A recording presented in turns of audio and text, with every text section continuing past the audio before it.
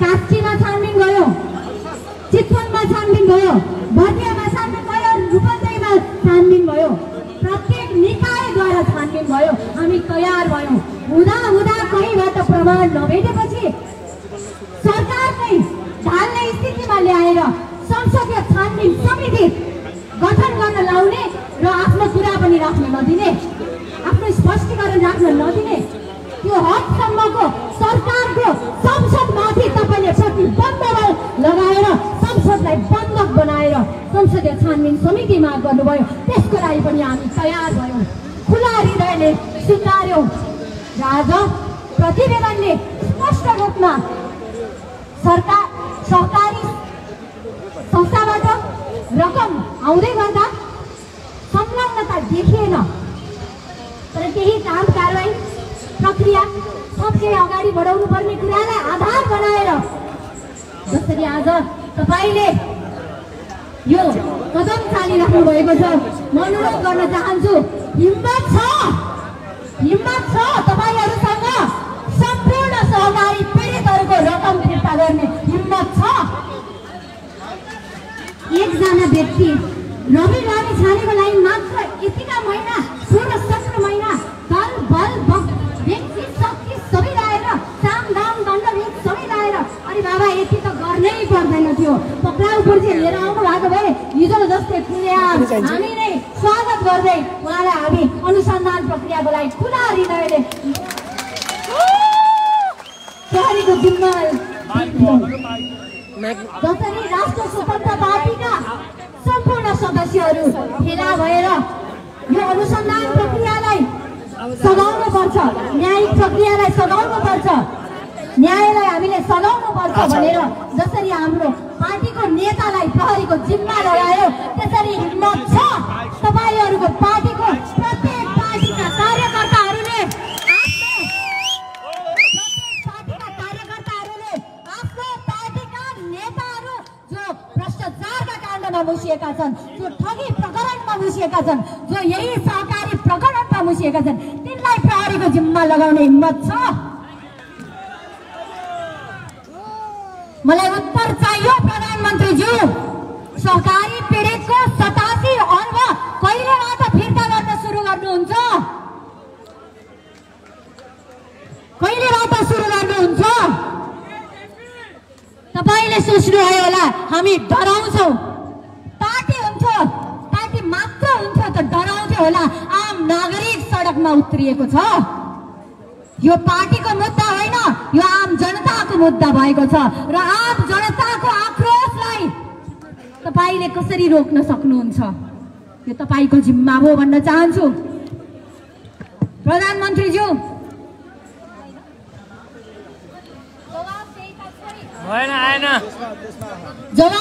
खोइ नैतिकता खोइ इमान्दारिता खोइ। अलिकति मात्र इमान छ भने अलिकति मात्र इमान छ भने त्यो एक सय चौरात्तर रूप एक सय चौरात्तर आना जग्गामा आम नागरिकको लागि जो बाढी पहिरोबाट प्रताडित भएर घरबारविहीन हुनुभएको छ उहाँहरूको लागि घाँस बाँसको आयु व्यवस्था गर्न सक्नुहुन्छ यति हिम्मत गरेर देखाउनुहोस् प्रधानमन्त्रीज्यू आज सोच्नुभयो होला यो भिड यो आन्दोलन यो भेला रवि लामी छानेलाई जोगाउनको लागि होइन। यो हामी एउटा व्यक्तिलाई जोगाउन आएका होइनौँ। हामी यो अभियानलाई जोगाउन आएका हौँ। यो अभियानको सुरक्षा गर्न आएका हौँ। तपाईँलाई लाग्यो होला रवि लामी छानेलाई जेल हाल्दैमा राष्ट्र स्वतन्त्र पार्टी सकिन्छ भनेर। सकिँदैन। यो अझै ठुलो हुन्छ अझै शक्तिशाली हुन्छ अझै बलियो हुन्छ। जति तपाईँ हामीलाई जिस्काउनुहुन्छ त्यति हामी बलियो भएर आउँछौँ। जति तपाईँ हामीलाई चिड्याउनुहुन्छ त्यति हामी अझै शक्तिशाली भएर आउँछौँ। तपाईँलाई लाग्यो होला सभापतिलाई ढालिदिए त पार्टी नै ढल्छ कि यो अभियानै ढल्छ कि? ढल्दैन अझै ठुलो भएर जान्छ अझै बलियो भएर जान्छ अझै मजबुत भएर जान्छ अझै दाजुले मान भएर यसले सुशासन व्यवस्था नगरेसम्म यो चलिरहन्छ बलिरहन्छ जाजोले मान भइरहन्छ। चाहन्छु आम समुदायलाई म आह्वान पनि गर्न चाहन्छु। हामीले हाम्रो पेसा छोडेर हामीले मेहनत गरेर आफ्नो बलमा आर्जन गरेको शिक्षा पेसा ठाउँ विलासिता केही हदसम्मको सेवा सुविधा सबै छोडेर त्यागेर एक मात्र लक्ष्य लिएर आएका छौँ सुशासन स्थापित गर्न भ्रष्टाचार निर्मूल पार्न र जबसम्म जबसम्म भ्रष्टाचारको जग उखाल्दैनौँ र भ्रष्टाचारीहरूलाई यो देशबाट लखेट्दैनौँ तबसम्म यो अभियान रोकिँदैन रोक्न सक्दैनौँ। निलो क्रान्ति अटल अकाट्य अवश्यम्भावी भइसकेको छ। निलो क्रान्ति। यो निलो क्रान्ति भनिरहँदा मैले पार्टीलाई मात्र इङ्गित गरिरहेको छैन। यो स्वतन्त्र यो शान्तिपूर्वक आन्दोलन हो यो बौद्धिक क्रान्ति हो। जहाँ तपाईँले तपाईँको हैकमवादले सत्ता प्राप्ति र आफ्नो भोग विलासिता र कार्यकर्ता पोस्ने काममा मात्र तपाईँ अब सीमित हुन पाउनु हुँदैन। नागरिकको खबरदारी अब नागरिक तहबाट उर्लिसकेको छ। म भन्न चाहन्छु अब अबको कति दिनमा तपाईँको प्रतिवेदन आउँदैछ? प्रधानमन्त्रीज्यू मलाई प्रतिवेदन चाहियो जहाँ तपाईँले निर्धक्क भएर सहकारी प्रकरणमा मुछिएका सम्पूर्ण ठगहरूलाई जेल कोच्नुहुन्छ मलाई प्रतिवेदन चाहियो। म प्रतिवेदनको माग गर्दछु जहाँ लेखिएको होस् सहकारी संसदीय सहकारी छानबिन समितिले इङ्गित गरेको सतासी अर्बको कति रकम सहकारी पीडितहरूले प्राप्त गर्नुभयो? त्यो प्रतिवेदनमा दिन सक्ने हिम्मत छ? सहकारी पीडित हुनुभएका जुन सहकारीको समस्याबाट पीडित हुनुभएका सम्पूर्ण सहकारी पीडित साथीहरूसँग हामी सधैँ छौँ। तपाईँहरूको अभियानमा सहकारी पीडित साथीहरू तपाईँहरू एक्लै हुनुहुन्न। त्यस तपाईँहरूसँगै राष्ट्र स्वतन्त्र पार्टी तपाईँको यो अभियानमा सधैँ छ।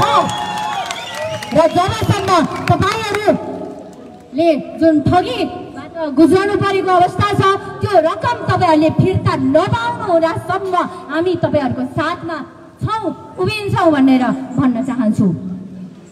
अन्त्यमा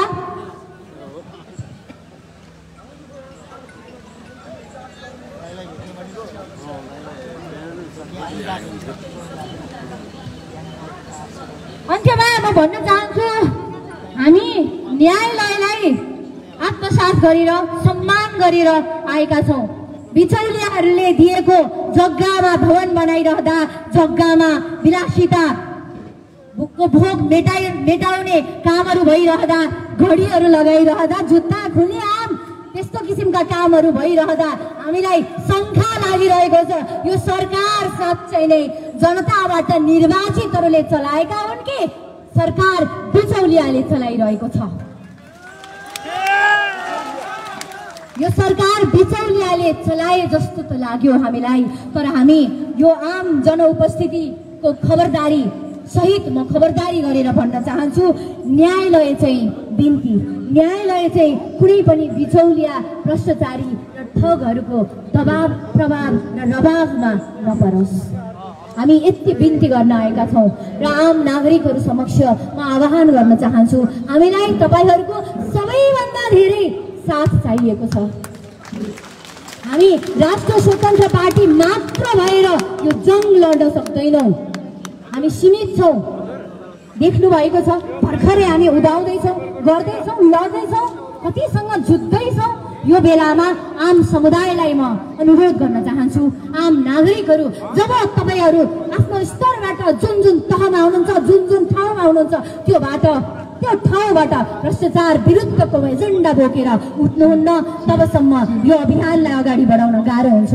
त्यो कारणले म यहाँ अपिल गर्न चाहन्छु सम्पूर्ण राष्ट्र स्वतन्त्र पार्टीको परिवारको तर्फबाट आम समुदाय समक्ष म अपिल गर्न चाहन्छु जबसम्म हामीले भ्रष्टाचारको ज्वरोलाई जरादेखि नै उखालेर फाल्दैनौँ तबसम्म राष्ट्र स्वतन्त्र पार्टीको साथमा सधैँ रहनुहोला सधैँ रहनुहोला। अझ हामीले त अहिले हाम्रो पार्टीको सभापति जुन हिसाबले पक्राउमा पर्नु भएको छ देख्नु भएको छ तपाईँहरूले नागरिकहरूले नजिकबाट एकदमै नजिकबाट निहालिरहनु भएको छ।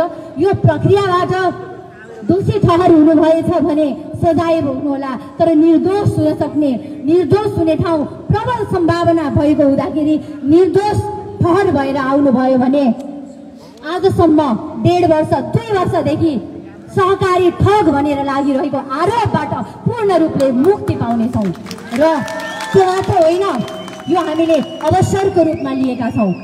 यसलाई हामीले अवसरको रूपमा लिएका छौँ जहाँ पुराना दलहरू तेत्तिस वर्षदेखि शासन गरिएका गरिरहेका दलहरू आम नागरिक समक्ष उदाङ्गो भएका छन् नाङ्गो भएका छन्।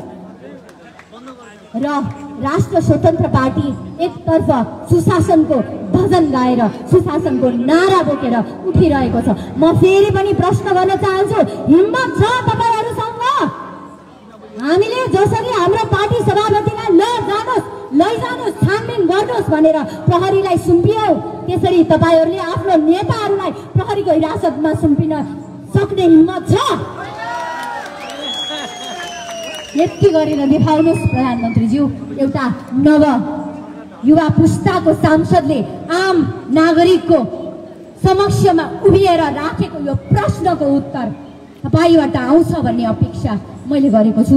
र यति भन्दै यहाँहरू सबैलाई म अनुरोध गर्न चाहन्छु निलो क्रान्तिले बोकेको यो शान्ति सुशासनको आवाजलाई बुलन्द बनाउनको लागि तपाईँहरू सदैव हामी समक्ष हामी सँगै रहनुहोला उठ्नुहोला हामी यो जङ अवश्य पनि जित्नेछौँ। धन्यवाद। जय घन्टी धेरै धेरै आभार। एउटा महिला जसले साँच्चै महिलाको तेत्तिस प्रतिशत पार्टिसिपेसन राजपाले मात्र पठाउन सकेको थियो। त्यो पनि प्रत्यक्ष निर्वाचित हुँदाखेरि र त्यस्ता सांसद बुलन्द आवाज आउ आगो उक्कल्न सक्ने हामीसँग यस्ता हस्तीहरू भइसके पछाडि पक्का पनि राष्ट्रपाले अबको यो देशको मार्ग निर्देशन गर्दछ भन्ने तपाईँ आम नागरिकहरूलाई पक्का पनि थाहा छ। धेरै धेरै आभार व्यक्त गर्दछौँ। आदरणीय म्यामलाई। र यति बेला भने अब हामी नारामा जोडिन चाहन्छौँ। एक किसिम नारा लगाउँछौँ। त्यसको लागि जोडिन आउँदै हुनुहुन्छ कास्की जिल्लाका उपसभापति आदरणीय राजु राई सर। गीत बजाउनु पर्ने क्या गीत लगाइदिनु गीत एकछिन गीत बजाइदिनु गीत बजाइदिनु गीत गीत बजाइदिनु यहीँनिर। एकछिन गीत बजाइदिनु न। एकछिन गीत। धन्यवाद। साथीहरू हामी एक जोडका साथ नारा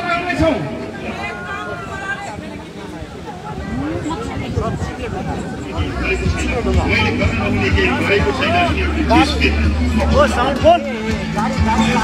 ठुलो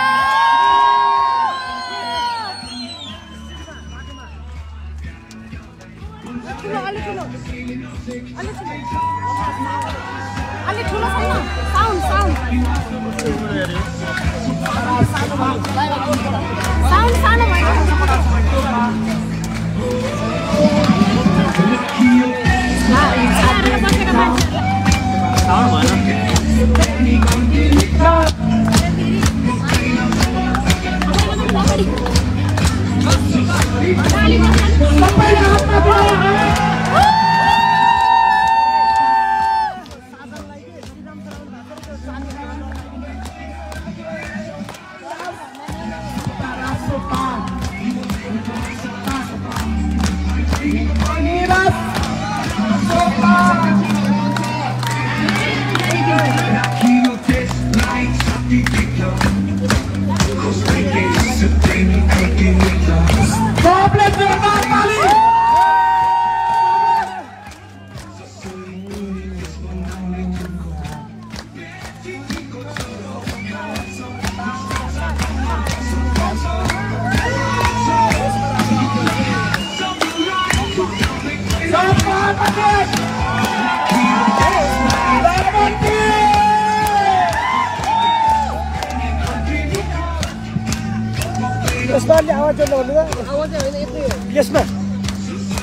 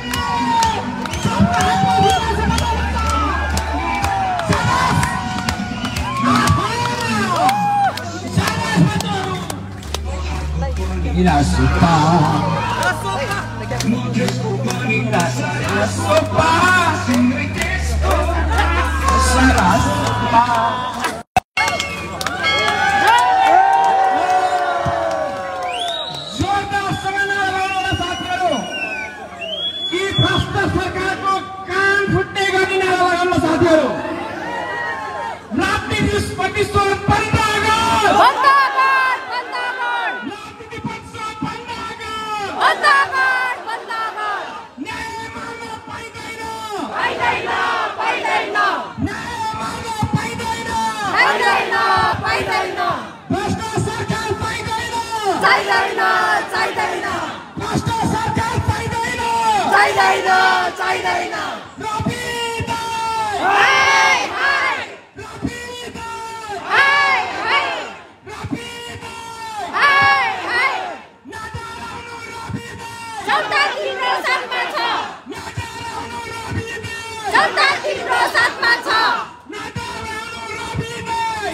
तिम्रो साथमा छ। पाइँदैन पाइँदैन। चाहिँदैन चाहिँदैन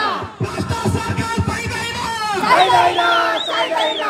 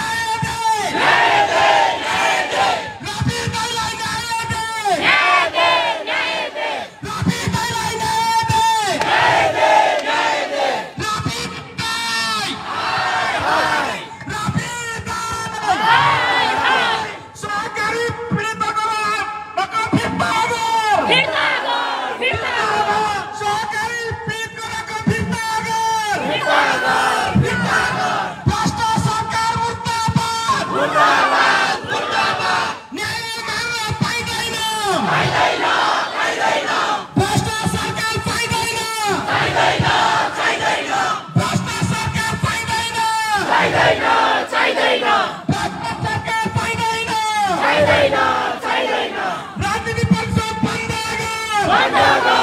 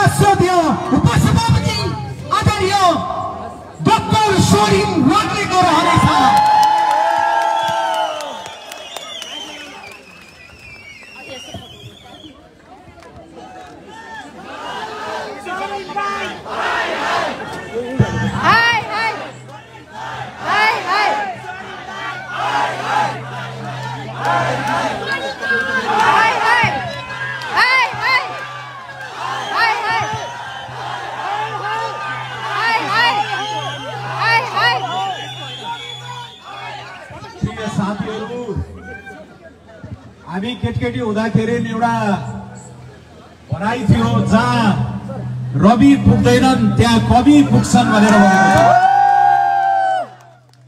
कवि अर्जुन पराजुलीले आज बिहान एउटा कविता लेख्नु भएको छ। म त्यो पाठ गरेर सुनाएर यहाँहरू समक्ष प्रस्तुत गर्न चाहन्छु। कसैलाई मिन भवनबाट ध्यान अन्तै मोड्नु थियो कसैलाई मिन भवनबाट यो मिन बहादुर गुरुङको क्या पछिल्लो काण्ड मिन भवनबाट ध्यान अन्तै मोड्नु थियो। कसैलाई आफ्नो राजनीति जोगाउन उसलाई सिद्ध्याएरै छोड्नु थियो। कसैलाई सहकारीको सतासी अर्ब भ्याउनु थियो। कसैलाई सहकारी डिभोर्स लुकाउनु थियो। कसैलाई गिरीबन्धु र शरणार्थीको फाइल बन्द गर्नु थियो। कसैलाई ललिता निवासलाई दक्षिणामा बदलेर गोजी भर्नु थियो। कसैलाई लुटको रङ्गशालामा बाचुन्जेल फुटबल हान्नु थियो। कसैलाई आफू सँगैको साथी माथि पुगेकोमा खुट्टा तान्नु थियो।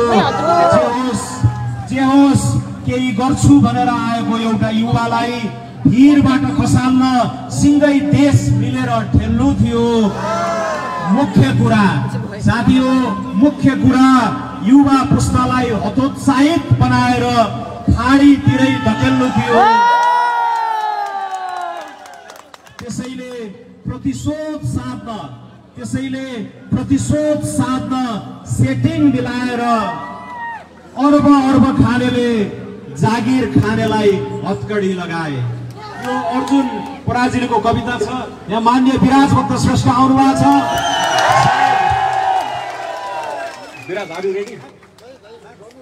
ल ठिक छ। अब हामी हिजोदेखि यहाँ पोखरामा छौँ। यो उत्साहजनक एउटा उल्लेख्य उपस्थितिको लागि यहाँहरू सबैलाई धन्यवाद छ। यहाँ पार्टीको झन्डा छैन पार्टीका लोगा छैनन्। साथीहरू नागरिक तहमा पनि यहाँ धेरैजना जोडिनु भएको छ। यहाँहरू सबैलाई मेरो हार्दिक नमन छ नमस्कार छ।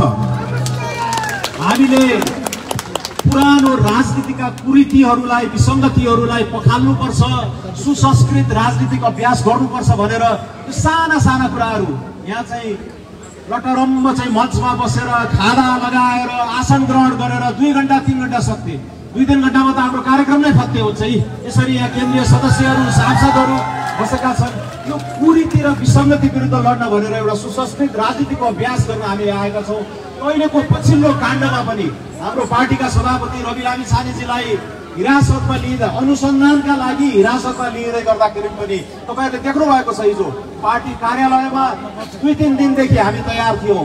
रवि लामे छानेजी मनस्थिति बसाएर ओखो पारेर कानुनको म सम्मान गर्छु।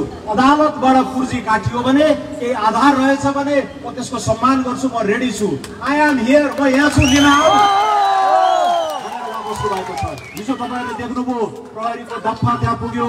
एसपी एसपी बोगटीजी चाहिँ चितवनमा पनि उहाँले नै सभा रहेछ हिजो बोगटीजी चाहिँ एउटा डफ्फा लिएर जानुभयो रविजीले। आफ्नै कार्यालयबाट। उहाँले बकाइदासित शालीनतापूर्वक कानुन म मान्छु। यदि तपाईँले वैधतापूर्वक कुर्सी लिएर आउनु भएको छ भने हामी स्वीकार्छौँ भनेर एकदम शालीन ढङ्गले त्यहाँ नराम्रा अभद्र चाहिँ नाराबाजी पनि भएनन्। प्रहरीले ससम्मान उहाँलाई चाहिँ गाडीमा राखेर हिजो पोखरा लिएर आयो। तिन बजीतिर यहाँ आउनुभयो। हामीले गएर उहाँलाई भेट्यौँ पनि यी सबै कुराहरू एउटा शालीन ढङ्गले सभ्य तवरले सौम्य ढङ्गले चाहिँ हामीले चाहिँ यो सुसंस्कृत राजनीतिको अभ्यास यो प्रसङ्गमा पनि यो घटनामा पनि गरेका छौँ। र धेरैले भन्छन् बालकृष्ण खाँड थुन्दाखेरि काङ्ग्रेसीहरू बजारमा आएनन् कोपबहादुर चाहिँ रायमाझी आउँदा पनि भएन भनेर भने हामीले पनि त्यस्तो गरेका छैनौँ। हाम्रो एउटै एकजना वृद्ध मान्छे बित्यो भनेर चिन्ता गरेको होइन। काल पल्केला कि भनेर चाहिँ यहाँ चिन्ता गरेका छौँ। कानुनको हामी सम्मान गर्छौँ। उच्च सम्मान गर्छौँ। हामी बहुलवादी लोकतान्त्रिक पार्टी हौँ। विधिको शासनबाट नै यी सबलाई ठेगान लगाउनुपर्छ। यो देशलाई अनुशासनमा बाँध्नुपर्छ। लगानीको माहौल बनाउनुपर्छ। यत्रो आठ लाख नौ लाख दस लाख युवाहरू चाहिँ देश छोडेर गइराखेका छन्। वर्षेनी पोखरिन लागिसक्यो युवा चाहिँ जनसङ्ख्या। यसमा अब केही आशा दिनुपर्छ भनेर राजनीतिमा होमिएका हामीहरूलाई यिनीहरूलाई देखिसक्नु भएको छैन। कसरी मास्ने कसरी लखेट्ने कसरी निराश बनाउने कसरी दबाउने भनेर यो महाअभियानमा यिनीहरू लागेका छन् तर हामीलाई एउटा भरोसा छ। सम्मानित अदालतले न्यायालयले न्याय दिएरै छोड्छ भन्ने हाम्रो विस- विश्वास छ। मैले अलिकति अर्थ राजनीतिको विद्यार्थी पनि भएको हुनाले मलाई याद छ यो देशका कस्ता कस्ता न्यायमूर्तिहरू चाहिँ अ, काम गरेका छन् हाम्रो देशमा। उसले तिस सालतिर रत्नबहादुर विष्ट भन्ने हुनुहुन्थ्यो। आफ्नै सासूको मुद्दा हराइदिएपछि राजा महेन्द्रको पालामा पछि चाहिँ बक्सिस दिन गरिएको अफर पनि उहाँले चाहिँ त्याग्नु भएको भनेर सुनेका छौँ। विश्वनाथ उपाध्याय जस्ता न्यायमूर्तिहरू प्रधान न्यायाधीशहरू भएका थिए। राजा ज्ञानेन्द्रले सत्ता हातमा लिँदाखेरि त्यति बेलाका यी भ्रष्ट नेताहरूलाई डाम्नको लागि शाही आयोग बनाउनु भएको थियो। शाही आयोग बनाएकोमा त्यति बेलाको सर्वोच्च अदालतले भनेको थियो यो असंवैधानिक छ भनेर त्यो शाही आयोग खारेज गरिदिएको थियो। त्यसैले आज हुनुपर्ने स्वस्थ स्वच्छ लोकतन्त्रमा शक्ति पृथकीकरण हुन्छ। कार्यपालिका हुन्छ व्यवस्थापिका हुन्छ न्यायपालिका हुन्छ। यो आफ्नो एकले अर्कालाई चेक एन्ड ब्यालेन्स सन्तुलनमा राख्नुपर्ने हुन्छ। तर यी भ्रष्ट बदमास नेताहरूले आफू जोगिनको लागि आफूले कमाएका अकुत सम्पत्तिहरूको लागि सम्पूर्ण संस्थाहरू सम्पूर्ण संवैधानिक निकायहरूलाई कब्जा गरिरहेका छन् आफू जोगिनको लागि। यो तोड्नुपर्छ। हामीले चाहेको लोकतन्त्रमा तोड्नुपर्ने हुन्छ। तर हामीलाई अझै पनि आशा छ भरोसा छ न्यायालय कार्यपालिकाका यी बदमास नेताहरूको प्रभावमा पर्ने छैन दबावमा पर्ने छैन भेदभाव गर्ने छैन भन्ने आशा एउटा अन्तिम भरोसा हामीलाई छ। त्यसैले यो मुद्दा अहिले अनुसन्धानको लागि केही दिनको लागि रविजीलाई हिरासतमा राखिएको छ। केही कुराहरूलाई आवश्यक त थिएन। भर्खरै आठ नौ घन्टा बयान दिएर आउनु भएको थियो। संसदीय प्रतिवेदनहरूमा पनि सबै लेखिएका छन्। तर यिनीहरूलाई डाम्नु थियो। एक दिन भए पनि दुई दिन भए पनि जेल कोचेरै देखाउँछु भनेर एउटा कुनै व्यक्तिगत इगो सान्नको लागि यो हरकत गरिरहेको कुरा घाम जस्तै छर्लङ्ग छ। घाम जस्तै छर्लङ्ग छ। त्यसैले तर हामी कानुनको सम्मान गर्छौँ प्रक्रियाको सम्मान गर्छौँ। यसैले हिजो हाँसी हाँसी। हामीले समर्पण गऱ्यौँ पार्टी मुख्यालयबाट हाम्रो सभापतिले हाँसी हाँसी चाहिँ आफूलाई समर्पण गर्नुभयो र हाम्रो त्यहाँ कुनै व्यवधान भएन अवरोध भएन विधिको शासनको हामी सम्मान गर्छौँ भनियो। तर हाम्रो डर के हो भने यही कानुनलाई बङ्ग्याएर यसलाई तोडेर यहाँ अनेक दुराग्रहहरू राखेर कुनै व्यक्तिलाई कुनै राजनीतिक अभियानलाई सकाउने दुष्प्रयास भइरहेको छ भने त्यो राजनीतिक हरकतको हामी राजनीतिक प्रतिकारै गर्नेछौँ। मलाई लाग्छ चुनावी मङ्सिरको निर्वाचनले एउटा ठुलो सन्देश दिएको छ। उपनिर्वाचनमा यही छिमेकी तनहुबाट चितवनबाट जुन शानदार मतका सहित तपाईँहरूले हामीलाई पुनर्अनुमोदित गर्नुभयो योबाट यिनीहरू हल्लिएका छन् तर्सिएका छन् डराएका छन्। त्यसैले यो यो किन गरिराखेका छन् भन्ने कुरा पनि बुझ्न जरुरी छ जस्तो मलाई लाग्छ। अहिले विषय मोड्न खोजेका छन्। मिन बहादुर गुरुङले एक अरबको घुस अहिलेको सबभन्दा ठुलो दल अथवा सत्ता हाँक्ने दलको नेता मार्फत उनका पार्टीका अधिकांश नेताहरूलाई पनि थाहा नदिएर किर्तिपुरमा एक अरब मूल्यको साठी करोड जतिको जग्गा तिस चालिस करोडको त भवन बनाएर अर्को घटस्थापनमा साँचो बुझाउँछु भनेका छन्। त्यो किन गरिराखेका छन्? त्यो लेनदेनको आधार के हो मुद्दा चलिराखेका छ। बालुवाटारको मुटुमा ललिता निवास काण्डमा मुछिएका मान्छे अहिलेका अर्थमन्त्री अहिलेका सत्तारूढ दलका अन्य नेताहरू आठ आना बाह्र आना सोह्र आना जग्गा घुस बापत सेटिङ मिलाइदिए बापत घुस लिएका यी नेताहरूलाई फाइनेन्स गर्ने यी धनाढ्य मीरबहादुर गुरुङ अहिले कसरी जोडिएका रहेछन् र पार्टीलाई यिनले कसरी चाहिँ प्रभावमा पारेका छन्? अब तपाईँलाई लाग्छ केपी ओलीले वीरबहादुर गुरुङ विरुद्धको मुद्दा अगाडि बढाउलान्?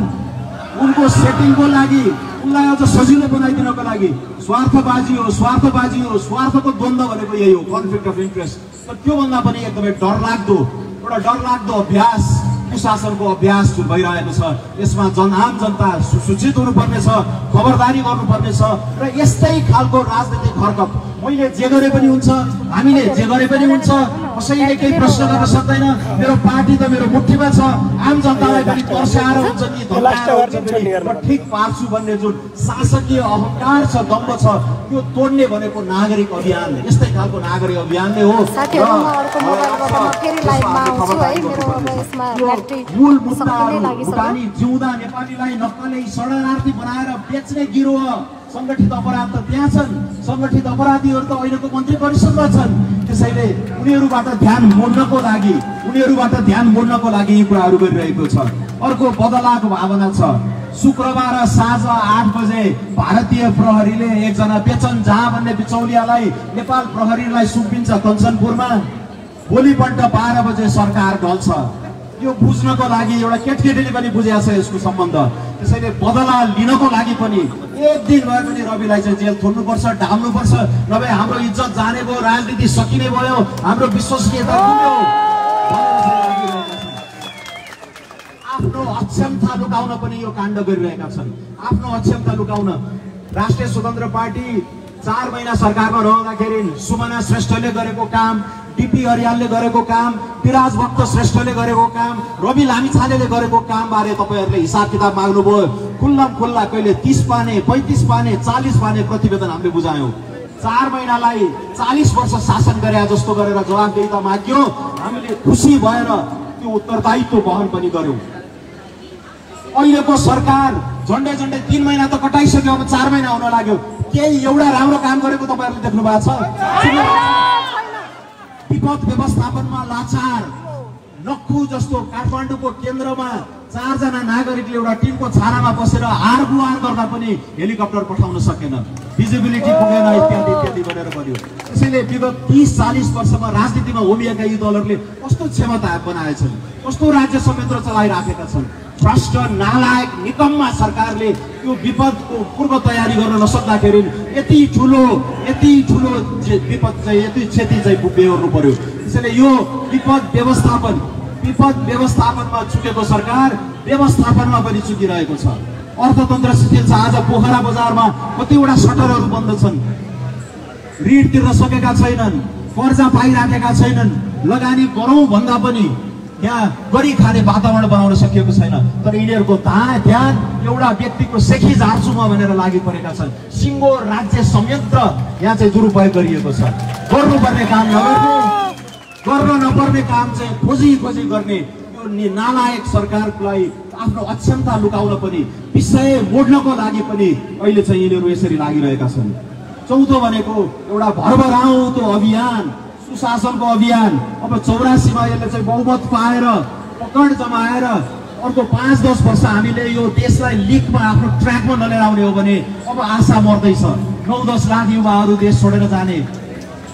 कसरी बनाउने? आज अफगानिस्तानपछि दोस्रो गरिब तन्न मुलुक भएर बसेका छौँ।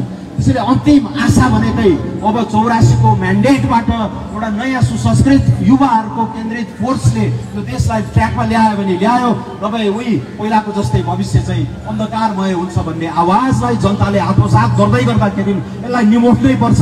हाम्रो त हरिबिजो बुने भयो भनेर यिनीहरू चाहिँ सल्भ लागेका हुन्। त्यसैले साथीहरू यो किन गरिरहेका छन् भन्ने कुरा पनि बुझ्नुपर्ने छ कसले गरिरहेको छ? यति भ्रष्ट छन्। नियुक्तिहरू किनबेच गरेका छन्। अरब अरबको चाहिँ नीतिगत करप्सन भ्रष्टाचार गरेर खाएका छन्। ठेक्कापट्टा निर्माण व्यवसायबाट करोडौँ असुल्ने गरेर यो महँगो बुझिलो भत्ता राजनीतिक प्रणालीलाई यिनीहरूले चाहिँ धालिरहेका छन्। त्यो सबै तोड्नको लागि हामीले भातृ सङ्गठन गरेर राखेका छैनौँ। हाम्रो पार्टीका बेस्ट मान्छेलाई चाहिँ सत्तामा जिम्मेवारी दिएर यो देशलाई अगाडि बढाउनु पर्छ झोलेहरू भरौटेहरूलाई अझ आफ्नै कार्यकर्तासँग पनि पैसा असुलेर नियुक्तिहरू गर्ने यो पुराना दलको परिपाटीलाई हामी चढाइबाट उठाल्न चाहन्छौँ। सुशासनको अभ्यास त्यहाँबाट गर्न चाहेका छौँ। र अहिले मुद्दा चाहिँ के हो? कसले किन गरिरहेको छ? कस्तो शासकीय चरित्र भएका मान्छेहरूले यो गरिरहेका छन्? र मूल मुद्दा चाहिँ के हो भन्ने कुरामा पनि धेरै अन्यल भएको देखिन्छ। साथीहरू दुई अढाई महिनासम्म संसदलाई अवरुद्ध गरियो। एउटा संसदीय छानबिन समिति चाहियो भनेर तपाईँहरूले देख्नु भएको छ। दुई महिना अढाई महिनासम्म अवरुद्ध गरियो। आज एउटा कुरा फेरि भन्नुपर्ने भएको छ पूर्व प्रधानमन्त्री प्रचण्डले त अस्ति भनिसक्नुभयो चितवनमा यो संसदीय छानबिन समिति बनाउन मलाई मन्जुर छ। म मेरो नाम चोख्याउन चाहन्छु। यहाँ मैले केही गल्ती गरेको छैन। छानबिन समिति बनाउनुहोस्। पर्यो भने म राजीनामा पनि दिन्छु भनेर रवि लामिछानेले प्रचण्डलाई पहिल्यै भन्नुभएको रहेछ। तर त्यति बेला रोक्ने केपी ओली अहिले उनीलाई काखमा राखी राखी चाहिँ भन्नुभयो मलाई याद छ। म पनि थिएँ दुईवटा मिटिङहरूमा। झापातिर कता हुँदाखेरि फोन गर्दाखेरि। पर्दैन। काङ्ग्रेसले जे जे माग्यो त्यही त्यही दिएर जाने। वा मदन भण्डारी मृत्यु हुँदाखेरि अथवा मदन भण्डारीको दुर्घटना हुँदाखेरि संसदीय छानबिन सम- समिति बनाउन नमान्ने काङ्ग्रेसले अहिले जे जे माग्यो त्यही दिँदै जान सकिन्छ। यो हुँदैन भनेर अडाङ राख्ने केपी ओली हुन्। रवि लामी छानेले छानबिन समिति बनाऊ भनेर धेरै अगाडि भन्नुभएको थियो। तर त्यो लम्बियो अन्ततको बजेट नै नआउने भएपछि बाध्य भएर एमाले माओवादी राष्ट्रिय स्वतन्त्र पार्टी सबैले चाहिँ मानेर संसदीय समिति बनाए। सातजना समिति सरकार पल्टियो। सातजनामा पाँचजना त सत्तापक्षीय नेताहरू हुनुहुन्थ्यो। हाम्रो पार्टीबाट प्रतिनिधित्व गरेर शिशिर खनाल जानुभएको थियो। पाँच महिना लगाएर यो दुई तिहाई सरकार सिङ्गो राज्य संयन्त्र बार्केको प्रहरी कास्कीको प्रहरी रूपन्देहीको प्रहरी पर्साको प्रहरी सिआइबी सारा लगाएर प्रमाण खोज्दा पनि सहकारी ठगेको मूल आरोप जुन मूल आरोप थियो रवि लामिछाने ठग हो यो ठगहरूको पार्टी हो यो पार्टीमा लाग्ने हामी जस्ता युवाहरू सबै ठग हुन् ठगका मतियार हुन् भनेर जुन लान्छना लगाइएको थियो मूल आरोप नै थियो। सहकारी प्रतिवेदन पाँच महिनापछि आयो र उनीहरूले लेखेको भाषा म फेरि तपाईँहरूलाई हुबहु पढेर सुनाइदिन्छु। सहकारी संस्थाबाट कुनै पनि सहकारी संस्थाबाट रकम गोर्खा मिडिया नेटवर्क प्रणालीमा आउने सम्पूर्ण प्रक्रियामा रवि लामिछानेको संलग्नता पुष्टि हुने कागज प्रमाण रहेको भेटिएन भनेर लेखेको छ। जुन मूल आरोप थियो जुन मूल आरोप थियो रवि लामिछानेले सहकारीको रकम ल्याएर घर किन्यो विदेश घुम्यो गाडी चलायो अपचलन गर्यो मोज मस्ती गर्यो रजगज गर्यो भनेर जुन मूल आरोप लगाइएको थियो त्यसमा बाह्र सय पानाको यो प्रतिवेदनले सफाइ दिएको छ लगभग। तर उसले अर्को प्याराग्राफ अर्कोमा के भनेको छ भने तर रकम गोर्खा मिडियामा आइसकेपछि रकम जीवी राईले लोन दिएर लिएर आएका छन्। अघि मनिष शाहले भन्नुभयो यहाँ अठासी सय करोडको अपचलन यही प्रतिवेदनले बोलेको छ। अठासी सय करोड। अझ यसलाई अलिकति बढाएर भन्ने हो भने दस दस हजार करोडसम्मको रकम चाहिँ यसमा पर्छ। चार पाँच खर्ब चार पाँच सय अरबको त बचत नै छ सहकारी संस्थाहरूमा। त्यसैले रकम आइसकेपछि निजी कम्पनीमा रकम आइसकेपछि रवि लामिछानेको के दायित्व हुन्छ के जिम्मेवारी हुन्छ त्यो चाहिँ अनुसन्धान गरे हुन्छ। यसमा सहकारी ऐन आकर्षित हुने होइन। यसमा कम्पनी ऐन आकर्षित हुन्छ। आज यहाँ उपस्थित सम्पूर्ण साथीहरूले गरी खानको लागि कसैले पसल राख्नु भएको छ कसैले केही पेसा गर्नुभएको छ पार्टनरसिपमा पैसा जुटाएर केही व्यवसाय गर्नुभएको छ त्यहाँभित्र भएको बदमासी यदि केही भएको रहेछ भने अरू सेयर होल्डरहरूले मुद्दा हाल्ने हो। अरू सेयर होल्डरहरूले चाहिँ प्रश्न उठाउने हो। कम्पनी रजिस्ट्रार कार्यालयले बरु अडिट रिपोर्टहरूमा चाहिँ प्रश्न उठाउन सक्ने हुन्छ। राज्य छिरेर त्यो पैसा कहाँबाट आयो के गरिस् भन्ने आधार धेरै तल हुन्छ तर कम्पनी ऐनले जे भन्छ त्यो म मान्न तयार छु। त्यसमा काम कारवाही अगाडि बढाए हुन्छ अनुसन्धान गरे हुन्छ। त्यो कम्पनी ऐनको बर्खिलाफ मैले केही अपचलन गरेको रहेछु पैसा कुम ल्याएको रहेछु भने म जेल जान तयार छु कारवाही अगाडि बढाऊ। त्यसरी बाह्र सय पानाको प्रतिवेदनमा सहकारी ठगीको मूल मुद्दामा उहाँले लगभग क्लिन चिट पाउनु भएको हो तर रकम आइसकेपछिका काम कारवाहीमा मलाई अनुसन्धान गर म कम्पनी ऐन अनुसार जे दोषी देखिएमा म भागीदार हुन तयार छु भनेर स्वीकार गर्नुभएको छ। तर यहाँ बुझेर हो वा नबुझिकन हो ए कारवाही गर्नु भनेको छ? फलानुले त क्लिन चिट दियो भन्दै यसरी समस्यालाई टुक्र्याएर इस्यु के हो प्रतिवेदन आफैले बोलेको छ सबभन्दा उल्लेख्य मुद्दा आइसकेछ भने त्यो समितिको सभापति सूर्य थापा आफैले जगदीश खरेललाई दिनुभएको इन्टरभ्यू तपाईँले सुन्नु भएको छ ए बाबा खोज्यौँ त सात समुद्र लगाएर खोज्यौँ एउटा त्यान्द्रो एउटा प्रमाण मात्र भएको भए हामी राख्दैनथ्यौँ होला भनेर सूर्य थापाले भनेका छन् त्यसैले यो बुझ्न जरुरी छ यो बुझ्न जरुरी छ। सहकारीको रकम अपचलनमा उहाँको भूमिका छैन भनेर उहाँले गरेको दाबी संसदीय छानबिन समितिले पाँच महिना लगाएर सिङ्गो दुई तिहाई सरकार सारा प्रहरी संयन्त्र दर्जनौँ मान्छेहरूलाई चाहिँ बयान दिँदा पनि नभेटेपछि नसकेर उनीहरूले छोडेको हो। तर निजी कम्पनीमा आइसकेपछिको रकमको बारेमा चाहिँ म कानुनी प्रक्रियामा म सहभागी हुन सक्छु। त्यहाँ दोषी देखियो भने मलाई कारवाही गरे हुन्छ भने। तर कम्पनी ऐनको दोषको लागि हतकडी लगाएर कोही तिन करोडको घडी लगाउने यहाँ रवि लामिछानेलाई हतकडी लगाएर चाहिँ यहाँ पोखरा ल्याउन आवश्यक थिएन। यो प्रतिशोध यो प्रतिशोध छानिएकै हो यो बदला लिएकै हो अहिलेको कुशासनबाट विषय मोड्न खोजिएकै हो आफ्नो अक्षमता लुकाउन खोजिएकै हो। यसमा तपाईँहरू निर्धक्कसित स्पष्ट हुनुभयो हुन्छ आदरणीय साथीभाइहरू। अब वास्तविक सहकारी पीडितहरूको मुद्दा यो पार्टीले नौ महिना अगाडि हामीले प्रतिवेदन तयार गरेका छौँ। जलेश्वरमा हाम्रो भएको ऐतिहासिक केन्द्रीय समितिको बैठकले सहकारी र लघु वित्तमा रहेको समस्याहरूको समाधान समाधान समस्या समाधान गर्नको लागि मेरै अध्यक्षतामा हाम्रो अर्थनीति विभागलाई एउटा जिम्मा दिएको थियो। दुई महिना तिन महिना हामीले पनि विगत सात आठवटा आयोगका प्रतिवेदनहरू अध्ययन गरेर एउटा गहकिलो प्रतिवेदन प्रति प्रधानमन्त्रीलाई पनि दिएका छौँ। हामीले सुझाएका छौँ सहकारीमा यत्रो रकम फसेको छ। अब अघि मैले भने नि सहकारी ठगीको मूल आरोपमा क्लिनचिट रकम आइसकेपछिकोमा म कानुन अनुसार कम्पनी ऐन अनुसार छानबिन हुन तयार छु तर मूल मुद्दा के हो त भन्दाखेरि यता हिसाबै गर्ने हो भने लगभग जिबी राईले पाँच छ अर्बको अपचलन गरेको भन्ने छ। अठासी अर्बको चाहिँ हिसाब किताब यता छ। काङ्ग्रेसका नेता मुछिएका छन् एमालेका नेताहरू मुछिएका छन्। विषय चाहिँ यता दुई चार करोडतिर मोडेर यता उन्मुक्ति दिन खोजेको हो कि भन्ने आशंका हामीलाई लागेको छ। त्यसैले वास्तविक सहकारी पीडितहरूले त्यो मूल मुद्दा नछोड्नु होला। र यसमा हामीले लेखेका छौँ सहकारी ऐन दुई हजार चौहत्तरको दफा एक सय पाँच अनुसार विशेष समितिहरू बनाएर रकम जो जसले बचत लिएको छ त्यसलाई फिर्ता ल्याउने जायज यथा सम्पत्तिहरू बेच्ने सञ्चालक समितिहरूले जसले कोअपरेट गर्छन् सहयोग गर्छन् मुलुकको मौजुदा कानुन अनुसार राष्ट्र बैङ्क अर्थ मन्त्रालयसँग मिलेर त्यसलाई अगाडि बढाउने जो जसले कोअपरेट गर्दैनन् ती सञ्चालक समितिहरूलाई भङ्ग गरेर राज्यले रकम फिर्ताको प्रक्रिया अगाडि बढाउने भनेर म आफैले संसदमा बोलेको छु। हाम्रो प्रतिवेदन तयार छ तर आज रवि लामिछाने र राष्ट्रिय स्वतन्त्र पार्टीलाई सहकारी ठगीको आरोप लगाउनेहरूले बचत फिर्ता भन्ने शब्द उच्चारण पनि गर्न सकेका छैनन्। किनकि उनीहरूको मूल मकसद उनीहरूको मूल मकसद यो होइन। उनीहरूको एउटा अभियानलाई निमोट्ने यसको नेतालाई मानवर्धन गर्ने सकेसम्म क्षति पुर्याउने र आफ्ना फटाहरूलाई आफ्ना फ- फटा जो कैदी भएर बसेका छन् इच्छा बहादुर तामाङदेखि जसको चन्दामा एमाले भन्ने पार्टी चलेको थियो। अन्य सिबी लामा लगायतका अन्यहरूले काङ्ग्रेसलाई चाहिँ चन्दा दिन्थे।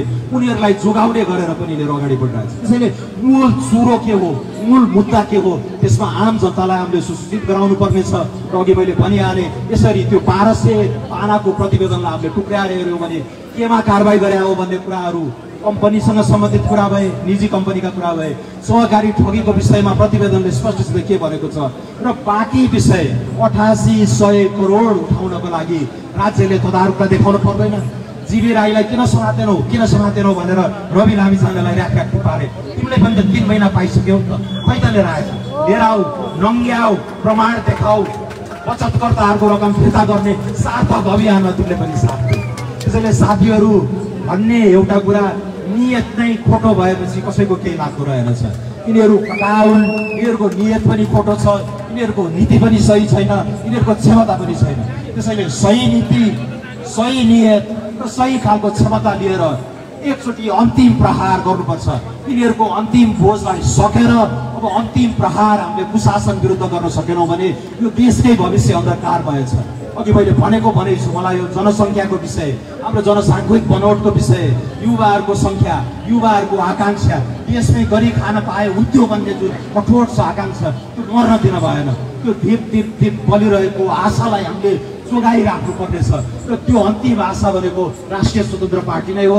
यसलाई नसित्याइकन यिनीहरूको पुरानो रजगज यिनीहरूको अन्तिम कुरो अन्त्य हुनेवाला छैन। त्यसैले मूल कुरो रविको पार्टी रासोपा रविलाई सिद्ध्यायो भने रासोपा सिद्धिन्छ भन्ने जुन यो भ्रममा यिनीहरू बाजेका छन्। रवि लामिछाने हाम्रो संस्थापक सभापति हो। उहाँ जेलभित्र रहे पनि जेल बाहिर रहे पनि मैदानमा रहे पनि मन्त्रालयमा रहे पनि उहाँ हाम्रो संस्थापक सभापति इतिहासमा दर्ज भइसक्नुभयो। नेपालका अब मतपत्रहरूमा नेपालका मतपत्रहरूमा अब घन्टी चुनाव चिन्ह कुनै माइकालालले हटाउन सक्ने छैन। मूल कुरा मूल कुरा के हो? नीतिको चुरो के हो? नियतको चुरो के हो? क्षमता र भविष्य आशाको सम्भावनाहरू कता छन्? त्यो खोजी गर्ने र हामीले आम जनतालाई सुसूचित गर्ने यो अन्तिम लगभग अन्तिम अवसर हो। हामी हरेस खाएका छैनौँ। अझै तिन वर्ष हाम्रो तयारी हुनेछ। नीतिमा काम गर्ने नेतृत्वलाई माझ्ने लिडरसिप एकाडेमी इत्यादि मार्फत र बिस्तारै सङ्गठन विस्तार गरेर चौरासीमा हामी एउटा सशक्त फोर्सको रूपमा चाहिँ उदय हुन्छ हुन्छ। तर यहाँ युवाहरूले साथ दिनु पर्यो पार्टीका झोलेहरू जसले अहिले वर्तमान लाभ लिइरहेका छन् एउटा देखिने पेसा केही छैन इलम गरेका छैनन् तर गाडी चढेर हिँड्छन्। छोरछोरीलाई स्कुलमा पढाएका छन्। शानदारसित पटेक फिलिपका घडी लगाएका छन्। लुई भिट्टोका जुत्ता लगाएका छन्। यी फटाहरू बिचौलिया हुन्। यिनीहरूले लुटिरहेका छन् दोहन गरिरहेका छन् अघि मैले इङ्गित गरिसकेँ। यो ओल कुसंस्कारलाई हामीले बढार्नु छ हिसारेर निकाल्नु छ यिनीहरूलाई। यो प्रवृत्तिलाई पनि यो प्रवृत्तिको मलजल गर्ने पात्रहरूलाई पनि चाहिँ हामीले हिसारेर निकाल्नु पर्नेछ। शान्तिपूर्वक मत पेटिका मार्फत ब्लू रेभोल्युसनबाट हामीले गर्नुपर्नेछ। र यहाँ युवाहरूको देशको भविष्यमा प्रति चिन्तित स्वतन्त्र बुद्धिजीवीहरू स्वतन्त्र नागरिकहरू अब सबै यो अभियानमा जोडिनु पर्ने हुन्छ। तर आज म पोखराको यो चौतारोबाट सम्पूर्ण साठी लाख अस्सी लाख झन्डै झन्डै कसैले त एक करोड नै पुगिसक्यो भनेका छन्।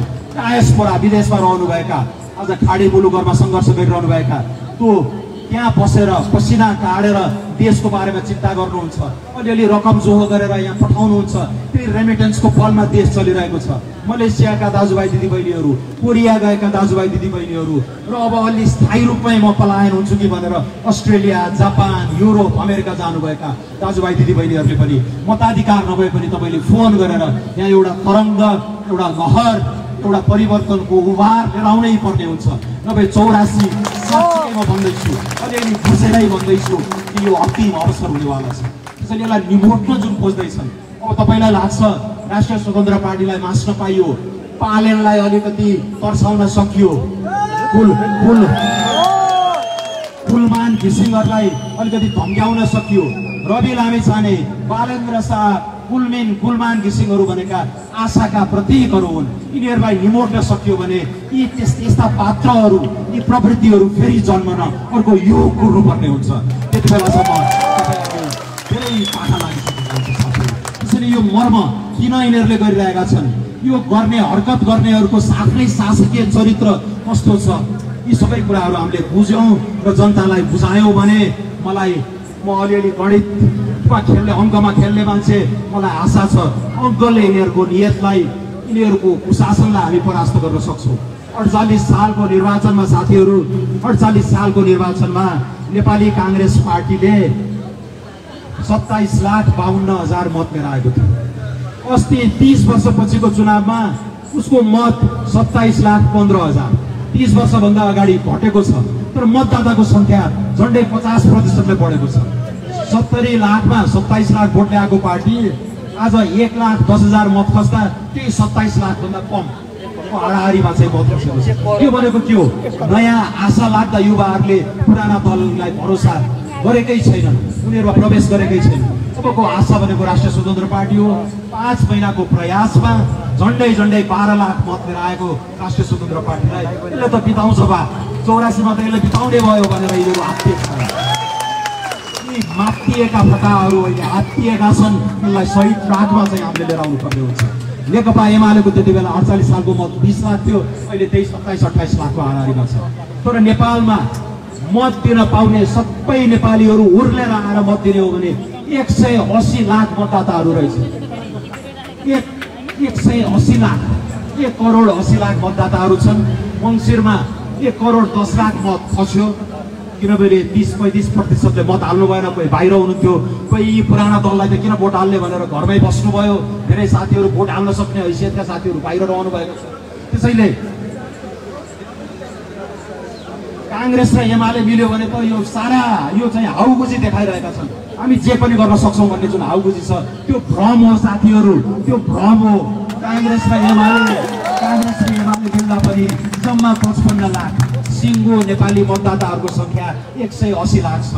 एक सय असीमा पचपन्नले धाक लाएर हुन्छ तर हामी हामी पनि जागरुक हुनु पर्यो। मत दिन सक्ने मानिसहरू देशमा छैनौँ। अब एउटा अभियान बनाउनु पर्ने हुन्छ। एक वर्ष अगाडि नै बिदा लिएर भए पनि भोट हाल्ने नै हो चौरासीमा भनेर विदेशमा रहनुभएका युवाहरूलाई पनि। र आगामी समयमा यदि अहिले राष्ट्रिय स्वतन्त्र पार्टीले पाएको बाह्र लाख मतलाई जोगाएर यसलाई जम्मा तिन गुणा गरेर छत्तिस लाख जति पुर्याउन सक्यो भने यी पुराना पार्टीहरूको खेल खलास हुन्छ। खेल खतम हुन्छ। त्यसैले मतदानबाट शान्तिपूर्ण मतदानबाट नै हामीले यिनीहरूको कुशासनलाई चिर्न सक्नुपर्छ। साथीहरू मैले भनिरहेको छु यो अन्तिम अवसर हुनेछ चौरासी। यो यिनीहरूले बुझेरै यो बुझेर नै हो यो हरकतहरू गरिरहेको। निमट्न खोजेका छन् दबाउन खोजेका छन् तर मङ्सिरमा पनि त सकेनन् नि। यिनीहरूले अब सक्नेवाला छैनन्। किनकि यहाँभन्दा अगाडिको हाम्रो मुभमेन्टमा अब दसौँ हजार इन्जिनियरहरू डाक्टरहरू लयरहरू गाउँ गाउँमा दुःख गरेर बसेका कृषकहरू बजार बजारमा यतै पसिना काटेर ऋण लिएर सानातिना उद्यम व्यवसाय गर्नेहरू सबैको आशा अब रासोपा हुनेवाला छ। त्यसैले रासोपा त्यो हामी निम्न दिने छैनौँ। हो रवि लामी छाने एकजनालाई यिनीहरूले लकेटलान् तर उहाँ हाम्रो संस्थापक सभापति हो। हामीलाई विश्वास छ सम्मानित न्यायालयले उहाँलाई न्याय दिनेछ। उहाँले नाम स्वच्छ राखेर अझ सशक्त भएर उहाँ हाम्रो अभियानलाई नेतृत्व गर्न तुरुन्तै आउनेवाला हुनुहुन्छ तर रवि लामी छाने चाहे पनि आजका सांसदहरू हेर्नुहोस् दुई सय पचहत्तरजना सांसदमा दसजना सांसदको नाम लिनुहोस् तपाईँहरूले। आज तपाईँले तिरेको करको